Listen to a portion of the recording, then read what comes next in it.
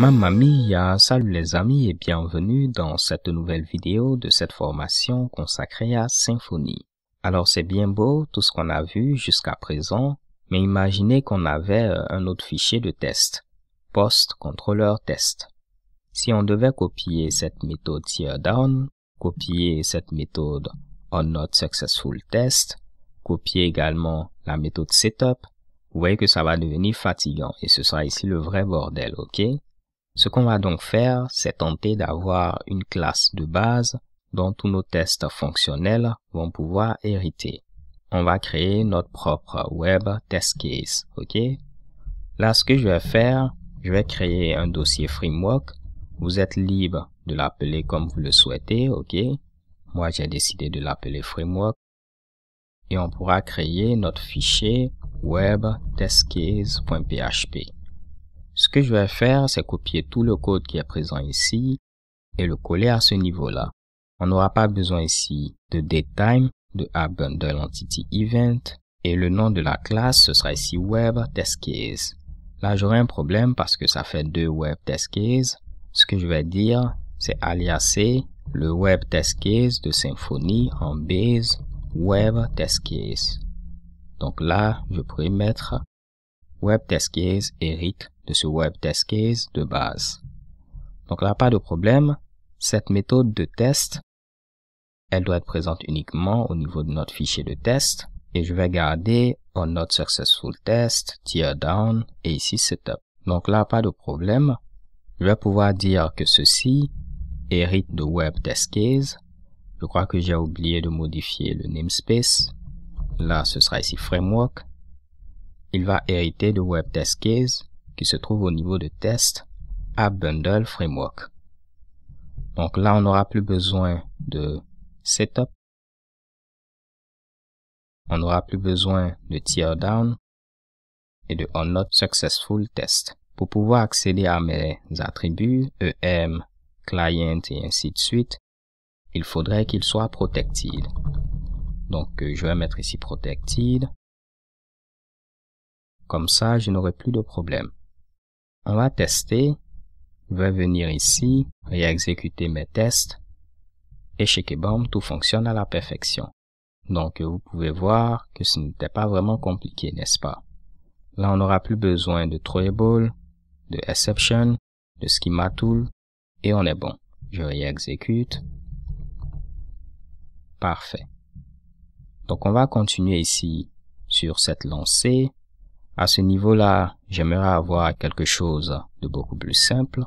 On va avoir une variable message qui va contenir ce message-là et on pourra mettre $message. Je réexécute. Parfait. Autre chose, à ce niveau-là, en lieu place de faire tout ceci, j'aimerais pouvoir faire 10 visites afin de pouvoir visiter une URL donnée, par exemple ici slash events. Je veux pouvoir dire en lieu place de asset contents pour voir que ce texte est présent au niveau du, au niveau du contenu de ma réponse. Je veux avoir une méthode siteText qui va faire ce mushi là. Donc j'aimerais voir le texte tree events. On va dupliquer ceci J'aimerais voir le texte event1 get name, event2 get name et event3. Donc le nom de mes trois événements doit être affiché. Là clairement, si je commande ceci et que j'exécute mes tests, j'aurai une erreur. On me dit qu'on ne connaît pas de méthode visite. On va créer cette méthode au niveau ici de web test case, ok? Je vais la mettre à ce niveau-là. Ce sera une méthode publique vous pouvez la définir comme protected si vous le souhaitez. Elle prend en paramètre une URL et c'est cette URL qu'on va visiter. Pour ce faire, on peut utiliser notre client et appeler sa méthode request. Donc, euh, je vais stocker ceci au niveau de notre crawler comme ceci. Donc, il va stocker ceci à ce niveau-là et il utilise notre client pour faire la requête. Notre client a été défini ici. Ensuite, je vais retourner l'objet courant, ce qui va faire que je pourrai chaîner ici mes appels de méthode. Vu qu'à chaque fois l'instance sera retournée, Je pourrais ici appeler cette méthode, après appeler une autre méthode, et c'est beaucoup plus simple à lire. Donc là, pas de problème. On va créer ensuite la méthode cText. On met ici le texte qu'on souhaite voir et tout ce qu'elle va faire, c'est appeler assert contents pour vérifier si le texte qui est passé fait partie ici du contenu de notre réponse. Donc vous voyez que là, je n'ai pas accès à ma réponse. Ici, on avait accès à notre réponse en faisant 10 client get réponse. Je vais copier ces deux mushimushi.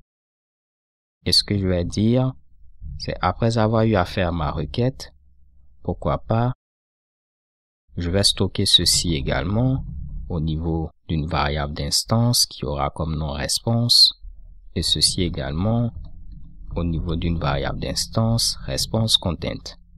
Donc là, ceci est bon, ceci également bon, simplement que je dois créer response et response content.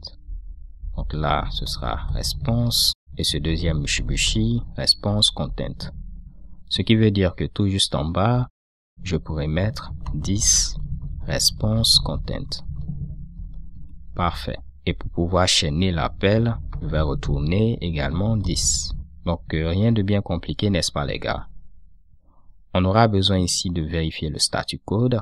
Pourquoi pas, je vais avoir une méthode assert response OK. Donc euh, je vais devoir la créer. On va copier ceci, la mettre à ce niveau. Ce sera assert response OK. Tout ce qu'elle va faire, c'est vérifier que le statut code de notre réponse est ici 200. Donc je mets 10 réponse get statut code et je retourne 10. Donc là, normalement, tout doit être bon. On va enlever tout ceci, exécuter à nouveau nos tests. Là, on me dit qu'on ne connaît pas de variable réponse. Ligne 54, ligne 40.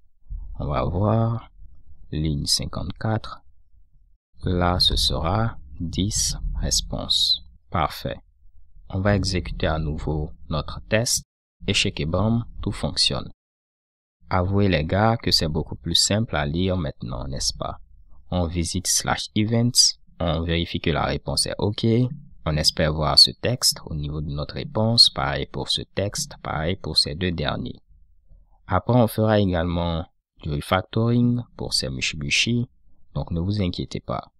On va s'arrêter là dans cette vidéo. D'ici là, portez-vous bien. Stay tuned and. Peace.